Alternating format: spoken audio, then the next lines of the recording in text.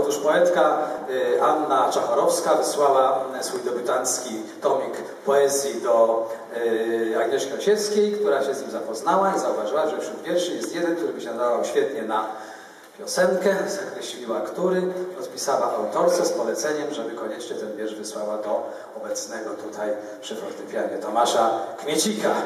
I tak powstał utwór Póki mamy Marzenata Szlazyk, Piotr Wakubowicz. Libera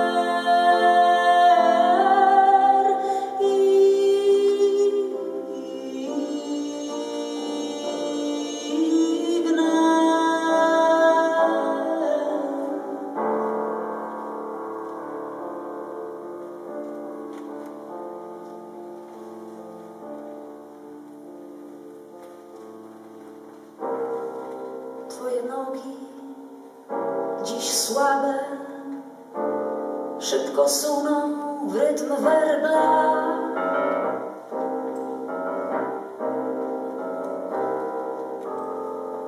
Gdy zabrzmią donośnie głosy chórów anielskich,